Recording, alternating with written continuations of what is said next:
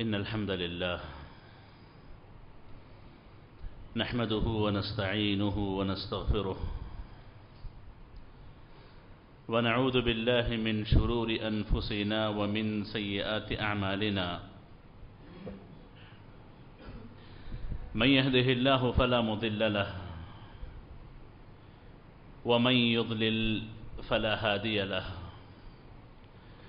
وأشهد أن لا إله إلا الله وحده لا شريك له وأشهد أن محمدا عبده ورسوله. صلى الله عليه وعلى آله وصحبه وسلم تسليما كثيرا. يا أيها الذين آمنوا اتقوا الله حق تقاته ولا تموتن إلا وأنتم مسلمون.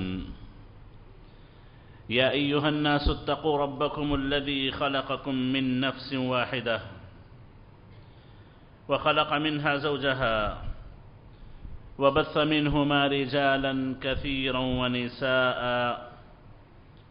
واتقوا الله الذي تساءلون به والأرحام إن الله كان عليكم رقيبا يا أيها الذين آمنوا اتقوا الله وقولوا قولا سديدا. يصلح لكم أعمالكم ويغفر لكم ذنوبكم. ومن يطع الله ورسوله فقد فاز فوزا عظيما. أما بعد فإن خير الكلام كلام الله.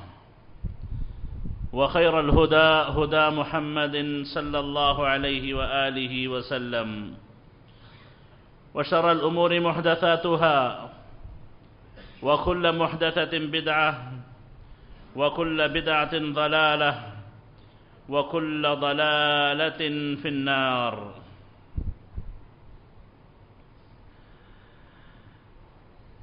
قابل احترام حاضرین جمعہ معزز خواتین ملت، تمام تعریفیں، ہر قسم کی بڑائی، کبریائی، اللہ وحدہ لا شریک کے لیے لائق و زیبا ہے۔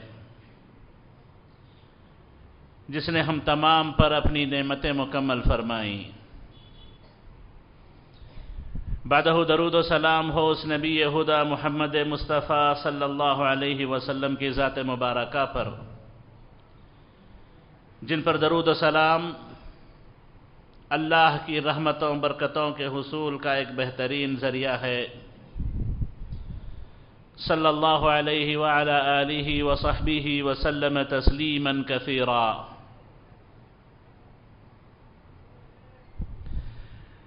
معزز حاضرین نبی کریم علیہ السلام والسلام کا فرمان ہے۔ صحیح بخاری کی روایت ہے، من يضمن لي ما بين لحييه وما بين رجليه اضمن له الجنہ. کہ جو آدمی اپنے بدن کے دو اعضاء کے صحیح استعمال کی مجھے ضمانت دے دے تو میں اسے جنت کی ضمانت دیتا ہوں۔ ایک وہ اس کے اپنے زبان کی ضمانت دے۔ اور دوسرا اپنے شرمگاہ کی ضمانت دے۔ کہ وہ اپنی زبان کا جائز استعمال کرے گا، صحیح استعمال کرے گا۔ اور اپنی شرمگاہ کا صحیح اور جائز استعمال کرے گا، اس کی اگر کوئی ضمانت دے دے، تو نبی کریم علیہ السلاۃ والسلام فرماتے ہیں کہ میں اللہ کی طرف سے اس کے لیے جنت کی ضمانت دوں گا۔ معزز حاضرین، اپنی زبان اور شرمگاہ کی حفاظت دنیا و آخرت کی کامیابی کی نشانی ہے۔ اپنی زبان کو بے لگام کر دینا۔ حلال و حرام کی تمیز کے بغیر اپنی شرمگاہ کا استعمال کرنا، ناجائز تعلقات رکھنا۔ یہ دنیا و آخرت کی ناکامی کی نشانی ہے۔ زبان کے استعمال سے متعلق بہت سی تفصیلات آتی ہیں۔ بڑے مسائل ہیں زبان کے۔ انہی میں سے ایک مسئلے کے تعلق سے میں آج آپ کے سامنے بات رکھوں گا۔ وہ یہ ہے کہ بندہ زبان کا اگر صحیح استعمال کرے، آزمائشوں سے مصیبتوں سے، تکلیفوں سے اللہ تعالیٰ کی وہ حفاظت میں رہے گا۔ زبان کا بیجا استعمال کرے، غلط استعمال کرے، خواہ مخواہ زبان کا استعمال کرے۔ غلط قسم کی باتیں کہے۔ منفی سوچ والی باتیں کرے۔ زبان کے استعمال میں نگیٹیوٹی زیادہ ہو نا امیدی زیادہ ہو۔ تو ایسے لوگ بہت زیادہ آزمائشوں کا شکار ہو جاتے ہیں۔ ایسے لوگ بہت زیادہ مصیبتوں سے دوچار ہوتے رہتے ہیں۔ تو اسی لیے ہمیشہ اپنی زبان کو مثبت معنی میں، اچھی سوچ میں، اچھے مطلب میں استعمال کرنا چاہیے۔ علی رضی اللہ تعالی عنہ اور حذیفہ رضی اللہ تعالی عنہ ان دونوں صحابہ سے ایک قول بڑا منقول ہے، کہتے ہیں، ان البلاء موکل بالمنطق یا ان ان البلاء موکل بالقول. کہ دیکھو، آپ کی زندگی میں آنے والی آزمائشوں کا بڑا گہرا تعلق آپ کی زبان سے ہوتا ہے۔ آپ کی زندگی میں آنے والی مصیبتیں اکثر آپ کی زبان کی وجہ سے آتی ہیں۔ بندہ زبان کا اگر صحیح استعمال کر لے، مثبت استعمال کرے، اچھی امید میں اپنی زبان کو استعمال کرے، اچھی باتیں کہے، تو اس کے ساتھ معاملات بھی اچھے ہوتے ہیں، تقدیر بھی اس کی اچھی ہوتی ہے، فیصلے بھی اس کے حق میں اچھے ہوتے ہیں۔ اس کے مقابلے میں نا امیدی کی باتیں کرنا ناکامی کی باتیں کرنا، بدعائیہ کلمات نکالنا، منفی سوچ کی باتیں اپنی زبان پر لانا۔ عام طور پر یاد رکھیں، آزمائشیں یہیں سے بہت زیادہ آتی ہیں۔ انسان اپنی زبان کے اعمال کو زبان سے کہی جانے والی باتوں کو معمولی نہ سمجھے۔ کبھی یہ زبان کا غلط استعمال جہاں دنیا کی آزمائشوں کا سبب بنتا ہے، وہیں پر اس زبان کا غلط استعمال انسان کو جہنم رسید کر دیتا ہے، اللہ تعالیٰ کو اس پر بڑا ناراض کر دیتا ہے۔ محسوس حاضرین،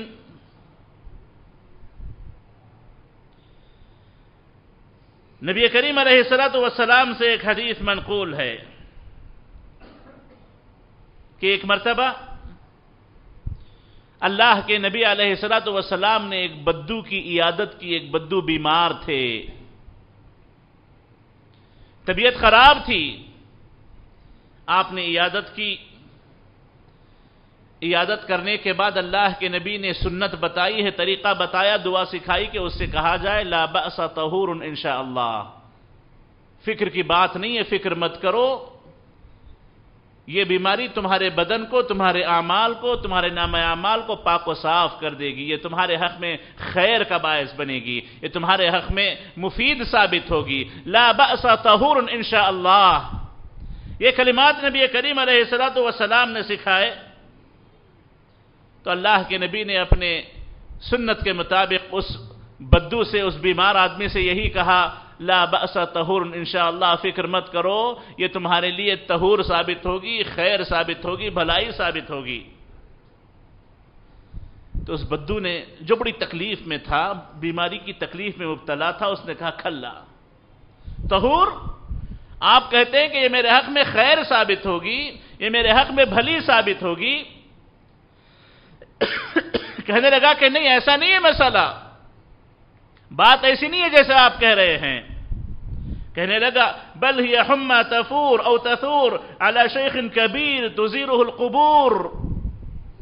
کہنے لگا کہ یہ تو بڑی سخت بخار ہے، تپتی ہوئی بخار ہے، ایک بزرگ کو آئی ہے اور بزرگ کو اس حالت میں آئی ہے کہ اس کو قبر تک پہنچا دے گی، اس کی موت ہو جائے گی، ایسی یہ بخار ہے۔ ایک طرف تو دیکھے اللہ کے نبی کا ایک قول کہ تمہارے حق میں خیر ثابت ہوگی اور دوسری طرف اس بیمار کا یہ کہنا کہ نہیں، اس سے میری موت آ جائے گی، یہ بخار ایسی ہے کہ انسان کو قبرستان کی زیارت کرا دے گی۔ یہ الفاظ جب اس بدو صحابی نے کہے، تو نبی کریم علیہ السلام والسلام نے کہا، فنعم اذن. تب تو بات ویسے ہی ہوگی، معاملہ ویسے ہی ہوگا۔ اس بخاری مسلم کی روایت میں نبی کریم علیہ السلام والسلام نے ہمیں درس دیا۔ کہ بڑی سے بڑی تکلیف میں بھی بندہ کیوں نہ ہو؟ بڑی سے بڑی آزمائش میں بھی بندہ کیوں نہ ہو؟ اللہ سے اچھی امید رکھے۔ مصیبتوں سے خیر جنم لیتے ہیں۔ آزمائشوں سے اللہ تعالیٰ آسانیاں نکال لاتا ہے۔ تکلیفوں میں کوئی نہ کوئی بھلی راہ نکل ضرور آتی ہے، لیکن انسان اس کے بجائے نا امید ہونے لگے نا امیدی کے کلمات کہے۔ تو اللہ اس کے ساتھ ویسا ہی معاملہ کرتے ہیں، اس کی زبان کے استعمال کی وجہ سے اس کے ساتھ ویسا ہی معاملہ کیا جاتا ہے جیسا اس نے کہا۔ ہوا ویسے ہی اس صحابی کا، اس بدو کا اسی بخار میں انتقال ہو گیا۔ تو مزد حاضرین اپنی زبان کا دیکھ کر کے، سوچ سمجھ کر کے استعمال کریں۔ سوچ سمجھ کر کے استعمال کریں۔ دھڑلے سے جو دل میں آئے کہہ دینا، چڑ میں آ کر کے کچھ بھی کہہ دینا۔ تکلیف کی تاب نہ لا کر کے، اس کو برداشت نہ کر کے، اپنی زبان سے کچھ بھی بکھ دینا، یہ آپ پر مصیبت لاتا ہے، آپ پر آزمائشیں لاتا ہے۔ انسان کو چاہیے کہ اپنی زبان کا مثبت استعمال کرے۔ غلط استعمال نہ کرے، غلط معنوں میں اپنی زبان کو نہ استعمال کرے۔ امید کی بات کرے، ہمیشہ امید کو اپنے اپنے دل میں اپنی زبان پر زندہ رکھے۔ ایک اور روایت ہے صحیح مسلم کی۔ نبی کریم علیہ السلط والسلام کے ہاں ایک آدمی بیٹھ کے کھا رہا تھا اور وہ اپنے بائیں ہاتھ سے کھا رہا تھا، لیفٹ ہینڈ سے وہ کھا رہا تھا۔ نبی کریم علیہ السلط والسلام نے اس سے کہا، کل بھی امینک اپنے سیدھے ہاتھ سے کھاؤ۔ اپنے سیدھے ہاتھ سے کھاؤ۔ تو بجائے اس کے کہ وہ بات کو قبول کر لیتا، اللہ کے نبی کی نصیحت مان لیتا، اس نے کہا لستطاعت میں سیدھے ہاتھ سے نہیں کھا سکتا۔ میں سیدھے ہاتھ سے نہیں کھا پاؤں گا، نہیں کھا سکتا۔ راوی کہتے ہیں، ما منعه الا الكبر. تکبر کی وجہ سے، غرور کی وجہ سے اس نے کہا تھا کہ نہیں، میں نہیں کھا سکتا اپنے ہاتھ سے، سیدھے ہاتھ سے۔ تو کہتے ہیں کہ فما رفعها الى فيه، کہ اپنی پوری زندگی میں کبھی وہ اپنا سیدھا ہاتھ اپنے منہ تک اٹھانے کی طاقت نہ رکھ سکا۔ کبھی وہ اپنا ہاتھ اپنے منہ تک نہ لے جا سکا، سیدھا ہاتھ۔ تو محسوس حاضرین، اپنی زبان سے اچھے کلمات استعمال کرنے چاہیے۔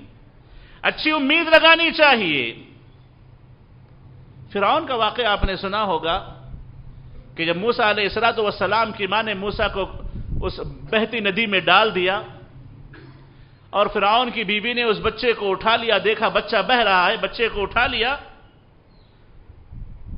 تو فرعون کی بیوی نے کہا، وقالت امرأة فرعون قرة عین لی ولک فرعون کی بیوی نے کہا کہ مجھے امید ہے کہ یہ بچہ میری آنکھوں کی ٹھنڈک بنے گا۔ ارے فرعون، اپنے شوہر فرعون سے کہا، تمہاری آنکھوں کی ٹھنڈک بنے گا۔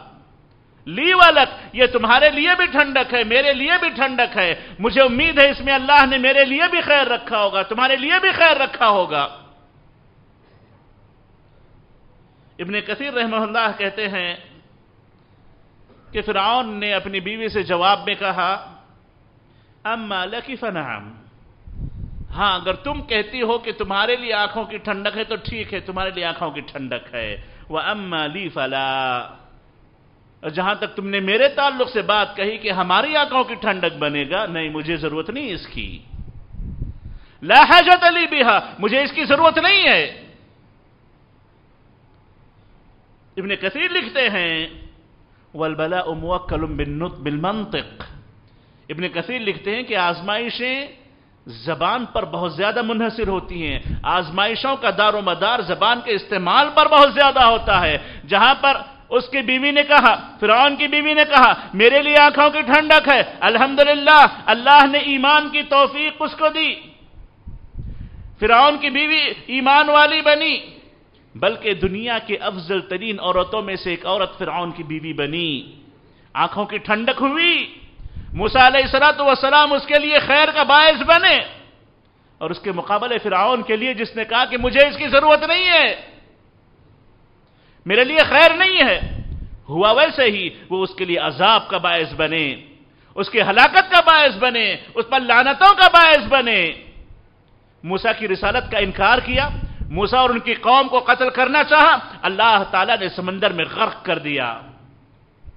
زبان کا استعمال تھا، تکبر کی بنیاد پر، یا کسی اور اپنے کسی زام پر، یا اپنی دولت پر، اپنی طاقت پر، اپنی صلاحیت پر، اپنے علم پر۔ یا اپنی تنخواہ پر کوئی بندہ فخر و غرور کرتے ہوئے بعض اوقات اپنی زبان سے کچھ ایسے کلمات کہہ دیتا ہے جو کلمات اس کے لیے آفت اور مصیبت بن جاتے ہیں، آزمائش بن جاتے ہیں۔ انسان کو خیر کہنا چاہیے۔ بھلی بات کہنی چاہیے، بھلی امید رکھنی چاہیے۔ کبھی وہ اپنی زبان پر، اپنے آپ پر، اپنی صلاحیتوں پر اللہ کی دی ہوئی اس کو جو اللہ نے چیزیں عطا کی ہیں، اس پر فخر و غرور کا شکار ہو کر کے وہ کبھی اپنی زبان سے ایسے کلمات نہ کہے جو اس کے لیے آزمائش بن جائیں۔ محسوس حاضرین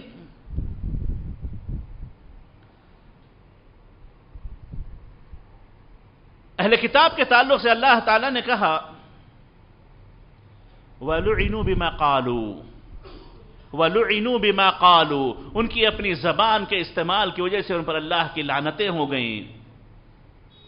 یہود نے کیا کہا؟ وقالت اليهود، يد الله مغلولة، غلت أيديهم، ولعنوا بما قالوا۔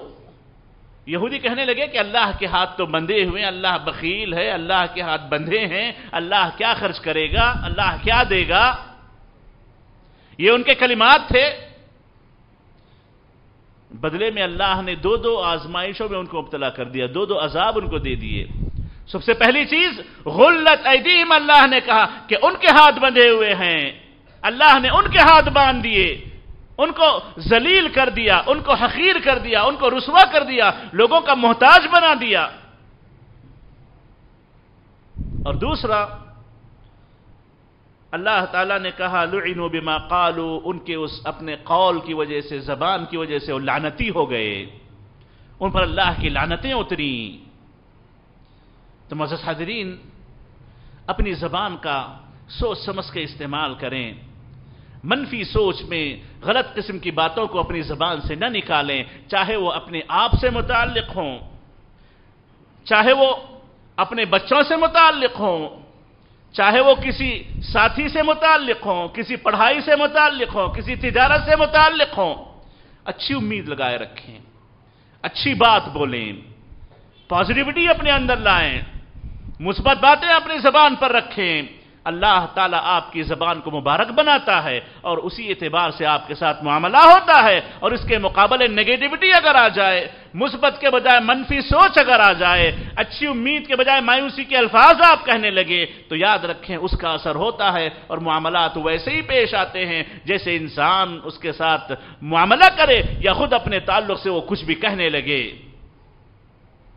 تو معزز حاضرین زبان ایک جہاں پر بہت بڑی نعمت ہے، وہیں پر بہت بڑی آزمائش ہے، اس کا صحیح استعمال جہاں پر اللہ کو راضی کر دیتا ہے، وہیں پر اس کا غلط استعمال انسان کو دن و آخرت میں آزمائشوں کا شکار بنا دیتا ہے۔ اللہ تعالیٰ سے دعا ہے کہ اللہ تعالیٰ ہمیں اپنے زبان کے صحیح استعمال کی توفیق نصیب فرمائے۔ اقول قولی هذا واستغفر الله لي ولكم ولسائر المسلمين من كل ذنب فاستغفروه انه هو الغفور الرحيم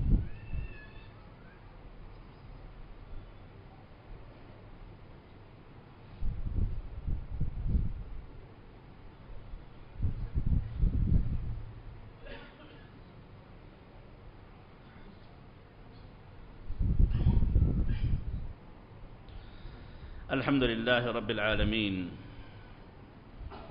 والصلاة والسلام على نبينا محمد وعلى آله وصحبه أجمعين. ومن تبعهم بإحسان إلى يوم الدين أما بعد. معزز حاضرین تاریخ میں آتا ہے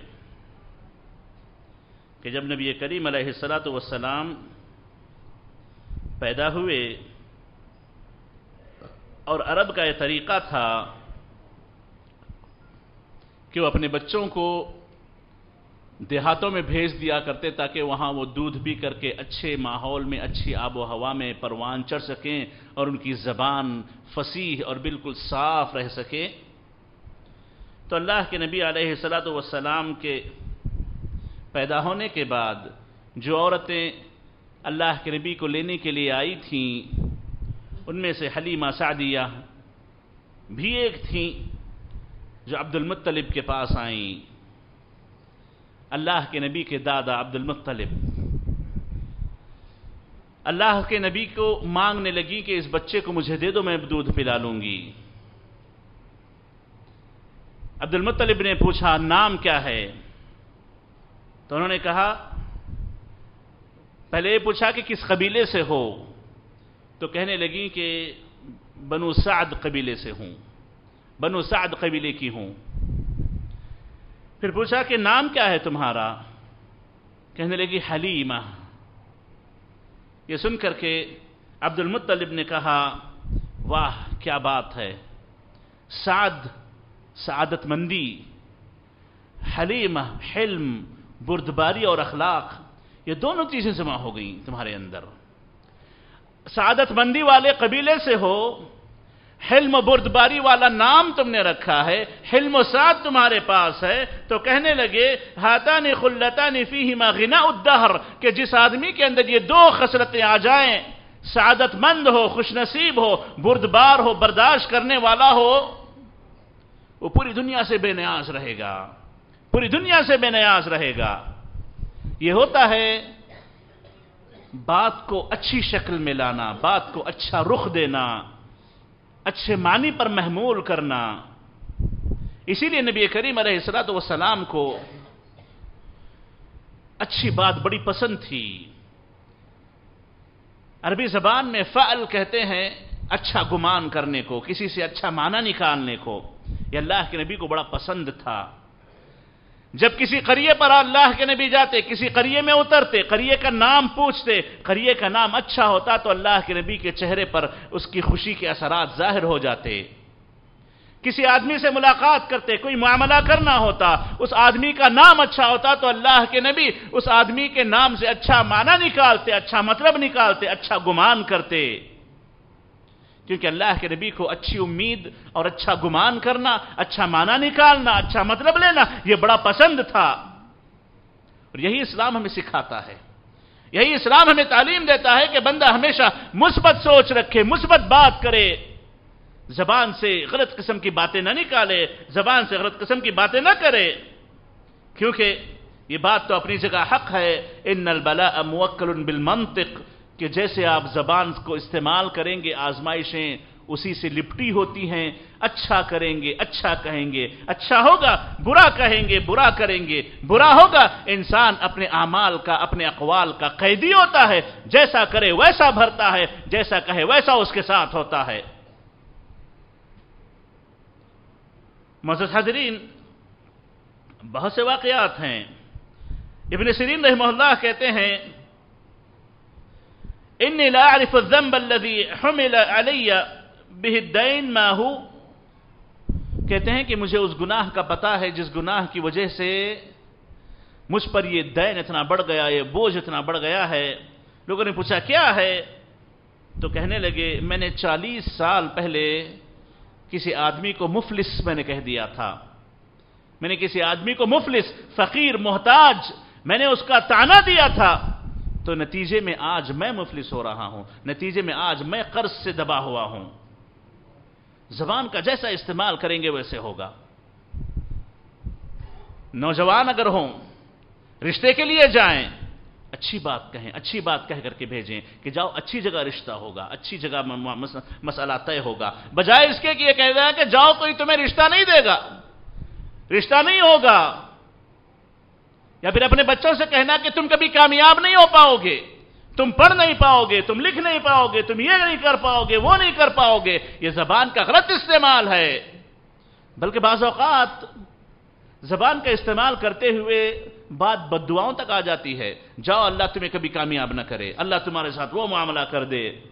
اللہ کے نبی نے ایسے کلمات استعمال کرنے سے منع کیا ہے۔ کبھی ہوتا کیا ہے؟ زبان سے آپ کچھ کہہ دیتے ہیں، آپ کی مراد وہ نہیں ہوتی ہے۔ آپ وہ کہنا نہیں چاہ رہے ہوتے ہیں۔ آپ کا مقصد نہیں ہوتا ہے، لیکن وقت وہ دعا کی قبولیت کا وقت ہوتا ہے۔ دعا کی قبولیت کا وقت ہوتا ہے۔ آپ نے اپنے بچے سے کہہ دیا، آپ نے کسی اور سے کہہ دیا، آپ نے کسی سے بات کہہ دی کہ تم کبھی کامیاب نہیں ہوگے، تم پر اللہ رحم نہیں کرے گا، تمہارے ساتھ یہ مسئلہ ہوگا۔ یا پھر اپنے تعلق سے کہہ دیا کہ میرے ساتھ ایسے ہی ہوتا ہے، میں ایسا ہی زندگی پر رہ جاؤں گا۔ دعا کی قبولیت کا وقت آ جائے، وہ بات قبول ہو جاتی ہے۔ زبان کی نحوستیں خود اسے لگ جاتی ہیں۔ جس نے وہ کہا، جس نے ایسے کلمات استعمال کیے تو مزد حاضرین، اپنی زبان کا استعمال مثبت طور پر رکھیں۔ ہماری غلطی یہ ہے، ہماری سوچ یہ ہے کہ ہم اپنی زبان کو جو کہ بے لگام ہے، جیسے چاہے ویسے استعمال کرتے ہیں، جو من میں آیا کہہ دیتے ہیں، جو دل چاہے بول دیتے ہیں، یہ کبھی الفاظ ہمارے لیے زیب نہیں دیتے، بلکہ کئی مصیبتیں، کئی آزمائشیں اپنے آپ پر ذرا غور کر کے دیکھ لے۔ کئی آزمائشیں ہمارے اپنے کہنے کرنے کی وجہ سے آئی ہوں گی۔ ہماری اپنی زبان کے استعمال کی وجہ سے آئی ہوں گی۔ ہم نے کبھی اپنے بچے کو کوئی بد دعا دی ہوگی، وہ بد دعا کا شکار ہو گیا ہوگا۔ زندگی بر تکلیف میں رہے گا۔ ہم نے اپنی بیوی سے کبھی کوئی ایسی غلط سلط بات کہہ دی؟ ہو سکتا ہے وہ بات قبول اللہ کے نزدیک ہو گئی ہو، وہ تکلیف و مصیبتوں کا شکار ہو جائے، یا کبھی غصے میں آ کر کے ہم نے اپنے تعلق سے کوئی غلط بات کہہ دی ہوگی اور اللہ نے وہ دعا اسی وقت قبول کر لی ہوگی تو مصیبتوں تکلیفوں کا شکار ہو جاتے ہیں۔ تو عام طور پر یاد رکھیں، یہ بات اپنی جگہ سچ ہے، جو علی رضی اللہ عنہ حدیفہ رضی اللہ عنہ کہی ہے، ان البلاء موکر بالمنطق کہ آپ کی جو زبان ہے، عام طور پر آزمائشیں، زبان ہی کے استعمال سے آتی ہیں، آزمائشوں سے بچنا چاہتے ہیں، مصیبتوں سے بچنا چاہتے ہیں، تو زبان کا مثبت استعمال کریں، زبان کو صحیح استعمال میں لائیں، کسی کے تعلق سے غلط بات نہ کہیں، ہمیشہ اچھی امید جگائیں، ہمیشہ اچھی بات کریں، ہمیشہ اچھا سوچا کریں، کبھی منفی سوچ، غلط سوچ اپنے ذہن پہ نہ لائیں اور اپنے تعلق سے ہو، کسی اور کے تعلق سے ہو، خاص طور پر اپنی آل اولاد سے متعلق ہو، کبھی غلط بات اپنی زبان سے نہ نکالیں، ورنہ ہو سکتا ہے کہ وہ وہی آزمائش کا سبب بن جائیں،